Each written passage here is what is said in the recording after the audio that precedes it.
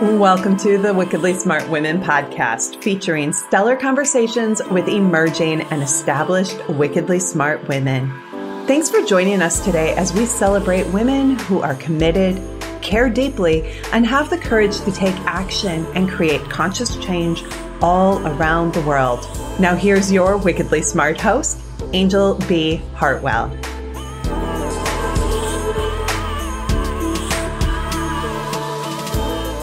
Welcome to another episode of the Wickedly Smart Women podcast, where we celebrate wickedly smart women and provide our listeners with a wealth of wisdom, along with immediately actionable steps to be smarter, spunkier, and more successful in their impact and their leadership. This is your host, Anjel B. Hartwell, and today we welcome our special guest, Thouria Benferhat. Thouria was born in Morocco and raised in Algeria. She holds a master's in bilingual education from Georgetown University and has been teaching since the 1970s. She doesn't look like it. she has taught Arabic, French, English, and Spanish to learners of all ages. For 36 years, she taught Arabic at the United Nations Language Program at the New York headquarters and retired in 2017. She enjoys the privilege of teaching people from all over the world and learning from her exceptional students. After raising three multilingual children, she now enjoys teaching languages online and sharing information about languages in her books, blog, podcast, and YouTube channel. And she loves to travel. I met Thouria on Clubhouse, and she's so you know, wickedly smart and incredible with all of her accomplishments that I just knew that she would be a great fit for the show. So, welcome to the show, Thouria. Thank you for having me, Anjel. A pleasure to be here. Well, you know, I mentioned when I was reading your introduction that I can't even believe that you've been teaching since the 1970s because you look about 35 years old. Thank you so, so have you been teaching since you were in the womb? Is that what happened? Were you like, well, actually, did you teach all of your friends in the neighborhood when you were like six? I started teaching when I was in college. I was actually teaching there was no online at that time so not. it was by correspondence. So i would correct students copies in arabic and french and then later on in english when i i think in the second or third year i started doing english as well. It was a good way to start teaching Mm, beautiful. Um, so teaching has was teaching in your family? Was there, you yeah. know, something in did you come from a long line of teachers? Like what was it that inspired you to step into that role of teacher?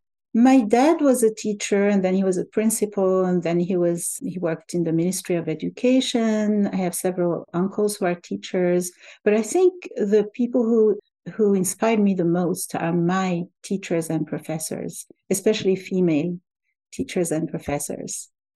Uh, Especially female teachers yes, and professors. Well, coming from from a country where women don't always have the chance, especially in you know at, at my time when I was young, to do as much as men. I really looked up to these women who were who were teaching us, and I wanted to be one of them. Mm. I became one of them. I'm very happy about that. Beautiful. Well, we're happy about that too. So, can we talk a little bit about your culture and you know was it in your family were you encouraged to get educated and be you know a voice for women because typically you know from what we see in western culture when we look with our own you know obviously flawed eyes at arabic culture we often see and maybe even project that there's a lot of suppression of the feminine there. So I'd love to have you speak a little bit about, you know, your own personal experience as well as what was it about your own environment that allowed you to become who you are? I grew up with four brothers and they were younger than me. And my parents were very open minded, especially my dad. Like when my mom would say, so so my my brothers would be outside playing and and she would say well you know you need to fix the the beds and i'm like why do i have to fix their beds they could fix their own beds you know and my dad would say no they have to fix their their own beds you know you mm-hmm. you you don't have to fix their beds. But at the same time, I was not really playing outside as much as they were. You know, I, I could have play dates with friends. I could go meet them outside, but I was not allowed to go to their homes. They were not allowed to come to my home. My parents were very protective because I was the only daughter. And it's just one example. However, my parents were also, as I said, very open minded. And when I was in college, my dad encouraged me to go to England to improve my English. And I stayed uh, uh, three years in a row for five weeks with a, a British family. I would spend uh, five weeks with them. And of course, that really helped my English and helped me be a better English teacher mm. later. And helped me also when I came to the US to study. Mm, beautiful. Um, so you you came from an environment where you were encouraged to study, where you were encouraged absolutely. to to speak and to be become a teacher, obviously. So let's talk about when you came to the US. Did you, was it your whole family or was it just you? Like, let's talk a little bit mm-hmm. about that journey and, you know, what inspired you to, to not only come here, but also to stay and to bring your gifts into the UN, which is, you know, really powerful place for you to have found yourself. Yeah. It was amazing. Mm-hmm. I came here. There was, you know, my friend told me about this competition they had. She saw it on the paper for people to go to come to the US and study for a master's degree. So there was a competitive examination followed by psychological tests and to find out how you fit in which university you might fit better and stuff like that. So I told my parents about it and they didn't say anything. So I went to the test and I passed. There were six six girls and I think seven boys who passed. And so we were supposed to go to this training for four months in another town about 30 kilometers away from my parents from Algiers, the capital. And um, the day I didn't say anything until the day came when I was supposed to leave. I packed my bag and I went to say goodbye to my mom. And she said, Did you tell your dad you were leaving? And I said, Well, I told him a while ago that I'll be going on this program. So I went and I said goodbye. He said, Oh, you're really going? And I said, Yes. and I went to that four months. Um, uh, training and it was an amazing experience already just uh, that because up to, up to then I was really just going from home to to school and back and i was really not socializing a lot. And all of a sudden here i was in an apartment with four other girls and meeting all kinds of young people and spending time with them and learning so much. Plus we had some american professors who came to train us and we learned i think we learned during that four month training more than what i learned at georgetown for two years. I mean maybe I'm exaggerating, but that's how it feels because it was so intense and immersive. Yeah. Yeah. It was mm. really very well organized. Beautiful. Yeah. And then I came here and spent two years at Georgetown. We spent one summer in Boston because we were tra- doing teacher training at Amherst University. Mm-hmm. That was an amazing experience. And then I was looking for a job and found out through a friend that they were interviewing for an Arabic part-time Arabic teacher, three hours a week at the United Nations. And so I went for the interview and did the class demonstration and I started teaching three hours a week. And a couple of years later, they needed a full time, there was a full time position that was open, the first full time position for an Arabic teacher. And I sat for that exam, interviews, and blah, blah, blah.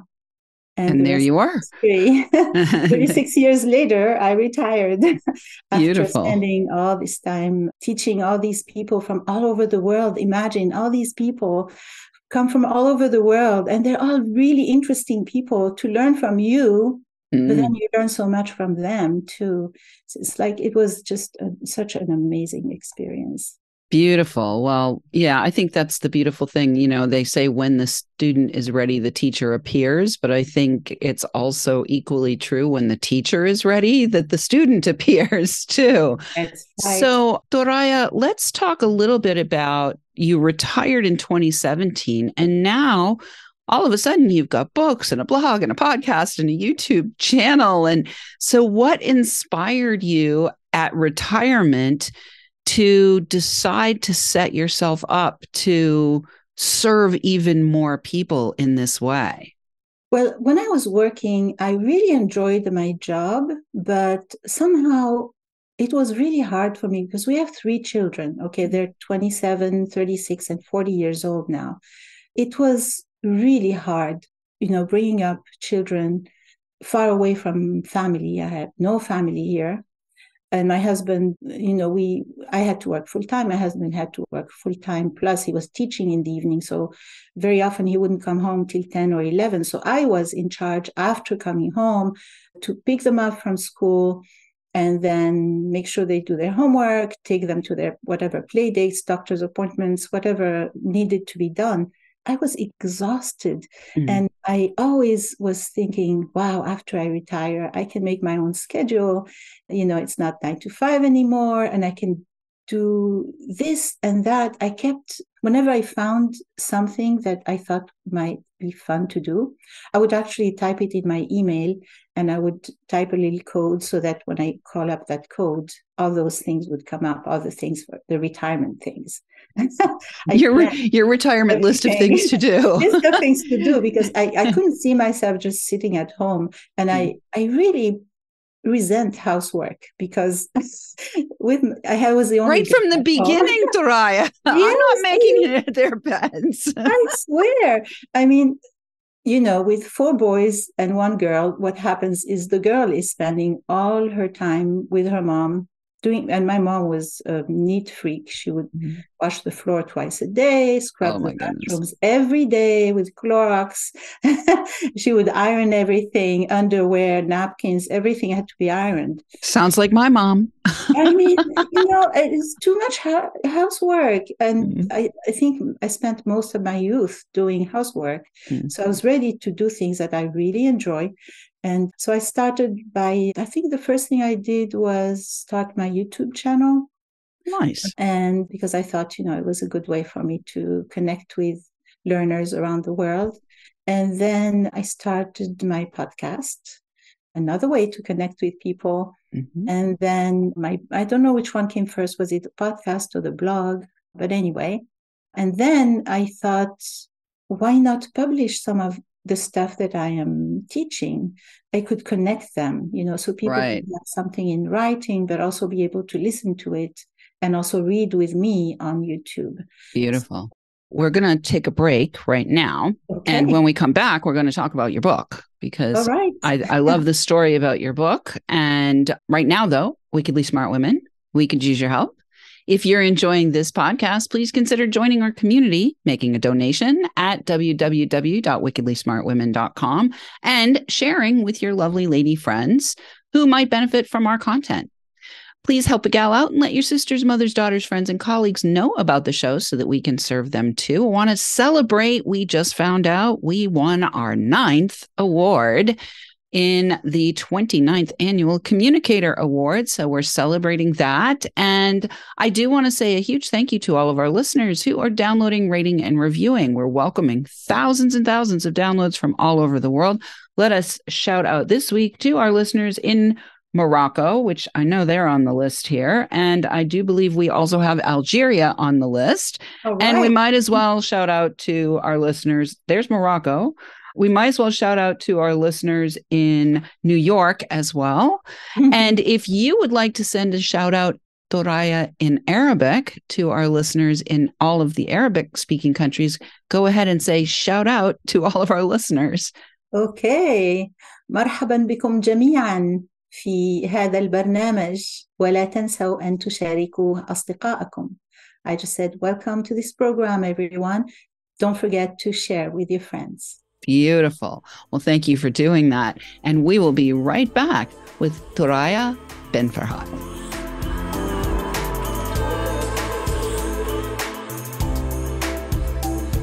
The Wickedly Smart Women podcast is brought to you by the Wealthy Life Mentor. Women, are you on the edge knowing that life is calling you to make a change? Are you ready to be part of the evolution of what it means to be a wickedly smart woman, creating your wealthy life by design? A life that is an extraordinary work of art.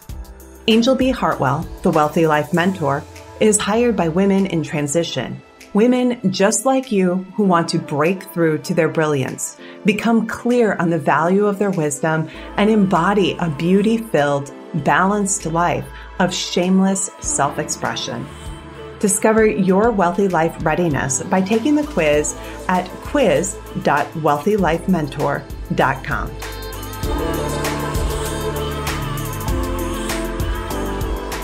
And we are back with Thuraya Ben Farhat. She can be found at thouriabenferhat.com. And we will have that link for you in the show notes. So before we went to the break, we were talking about how Thouria made the decision to retire and had this gigantic email list of fun things that she could do after she retired, which included a blog, a podcast, a YouTube channel, and book writing. So let's talk a little bit about your business, Thouria, and your book and whatever you'd like to share with us specifically about the book that you have written called In Arabic, I Am Iraqi. Well, yes. So I had a student at the UN who, after I retired, contacted me and said she wanted to take private lessons. So I continued teaching her until her son decided he wanted to learn Arabic because his grandpa is an Iraqi Jew who moved from Iraq to immigrated to the US when he was 18. And then I started teaching her dad, who's 92 now, French, because he wanted to refresh his French. But then Vince, the young boy, learned how to read and write. And I thought, I need to publish something, some book that actually a book that I would have liked to have when my kids were little, because once you teach them the alphabet and you teach that they already know a lot of vocabulary and they can make short sentences, it's good for them to have a book of paragraphs about themselves, about their friends, about their school, about their hobbies, their family, and then a place where they can either rewrite this paragraph or do a cloze test or answer questions about the paragraph, a place where they can draw something, you know, a memory from this area of their life. A book for parents who need a book for Sunday school, you know, if you can do something like this with your child, you have 20 chapters. It's a short chapter. They can listen to it. They can read it. They can, you can work with them and it can really add up. And by the end of the book, they really learn a lot and become more confident with the language. Beautiful. So I published this book. I asked Vince about all these things in his life, but then the there is a place in the book where every child, any child, can write about their life in the same vein. And I have the translation in the end of the book. I also have the paragraphs in Arabic in with all the declensions because the declensions, I mean the diacritics, because Arabic has, you know, I don't know if you know this, but in Arabic, the short vowels are usually not written in a newspaper or a book. You're you're supposed to be reading without the sh- the vowel, the short vowels. It's as if you had like English words with no vowels inside, and you have to guess what the vowels are. So Arabic, in fact, is a language that you have to know a lot about before you can actually read a newspaper, because a word without vowels could be five different words, depending on where it is in the sentence, depending on the context. Wow. Okay. So, so it's very important for a child to have these texts with the diacritics because at that age it's it's harder to read. So the diacritics are the actual words with the vowels in them. With the vowels yeah. Yeah the vowels in arabic are above or below the consonant. They're not like inside the word like interesting. It's fascinating. It's such a fascinating topic. And, you know, one of the things that I do want to talk a little bit about with you, Thouria, is this idea of also, you know, just being multilingual in such a the world that we're in right now, especially for those of us who are in the US, there's this whole idea of English being the only language, and it's certainly not the only language. So I'd love to have you speak a little bit about, you know, what your point of view is on the importance of learning other languages and cultures and being multilingual. I think learning other languages is is very enriching because I know for a fact that with every language I learned, my brain opened up to not just the language, but the culture. And it it's as if I were embracing a whole new group of people in my arms. Anytime you you greet someone in their own, even just greeting them in their own language, you can see their eyes light up. They open up to you in a way that I don't think can happen any other way. It's very special. And I really encourage everyone to study another language. I think foreign languages open many doors in our lives. I think you have an edge if you have another language or two when you're applying for a job. I think people know this, even though they know that English, maybe you can, you know, you can get along with only English, but having other languages really makes you a special person. Mm. Plus, it's good for your brain. Lots of neural networks getting formed yes. when we when we learn how to say bonjour and comment allez-vous aujourd'hui and hello. Teach us hello in Arabic, Thouria. So there are several ways, but the easiest way, the easiest one, I think, is ahlan. Ahlan. Ahlan. Ahlan, Thouria. Ahlan and Beautiful. you know what it means? No, I don't. So ahlan comes from the word ahl, which means family. So mm-hmm. ahlan, uh, the n at the end is an adverbial, is an adverb maker. So ahlan means it's as if you were saying in English, family li, right? The li at the end is adverb maker. And it means basically, mm, consider yourself part of my family. Oh, I love that. that is beautiful. Well, and you know, that's the other thing, Thouria, about learning about other cultures and learning about other people is there's so much beauty.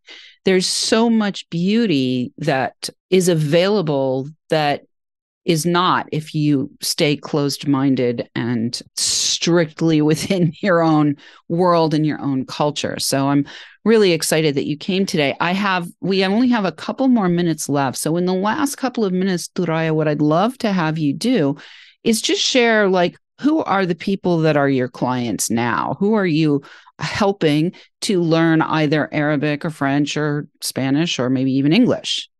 So basically, these are, I don't really advertise. I have a school online, but they don't advertise, and I have no money to advertise. So basically, it's people who know me, my students, or people that they met or they, they that asked them if they knew of a good teacher. So they knew where to find a good teacher. Beautiful. Yeah. Can people find out about learning from you on your website, though, that we're going to have yes. in the show notes? Great. Yes. So if somebody listens, I mean, we have listeners in 108 countries. yes. And I teach on Zoom, I, I do everything online. Beautiful. Uh, so COVID, you, COVID has freed us of commuting. no doubt about it. I actually was free of commuting in 2008. And you. so I have not gone back, but it definitely, COVID definitely liberated a lot of people. So, in the last couple of minutes that we have, Thouria, is there anything else that you really would like to say or make sure that our listeners hear from you about your business, about being multilingual, about you? Yes. Okay. Well, I told you about my kids. I wanted to make sure. Mm-hmm. one is a lawyer, one is a psychiatrist, and my daughter is a director in an administration in the city of New York. I'm very proud of them.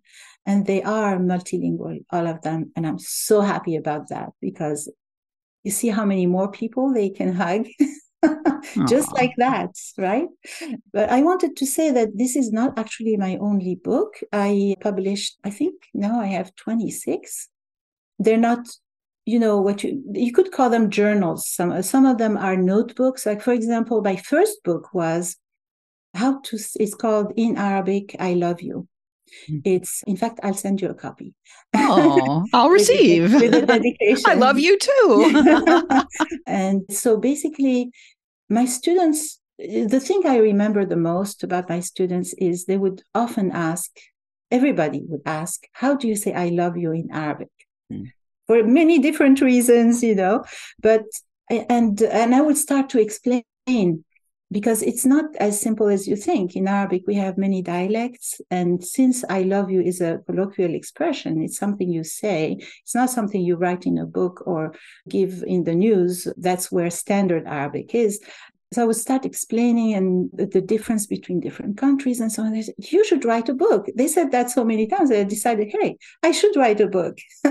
so I wrote a book uh, that that's a, a, a brief introduction to the Arabic language with explanation of the sounds of the writing system and then how to say i love you in standard arabic but also in every dialect. There are 23 countries so and also a special expression per country a funny or interesting expression. Beautiful. and i that book. And then i wrote from that book what i did is i took there are four main arabic dialects so I took the expressions from each group and I made notebooks, you know, just lined notebooks where you have a love expression at the top with a with a transliteration and then an explanation on the bottom it's a nice gift, you know, to give someone, tell beautiful. them I love you, you know. Oh, that's and beautiful. I wrote some children's books and some Aww. coloring books in different well, we, bilingual, trilingual, beautiful people to learn foreign languages. I love it. Well, we love you, Thouria, for your enthusiasm for helping others to learn, at the very least, how to say I love you in a lot of different languages. and listeners, we are at the end and we love feedback. So please let us know what you thought of today's episode.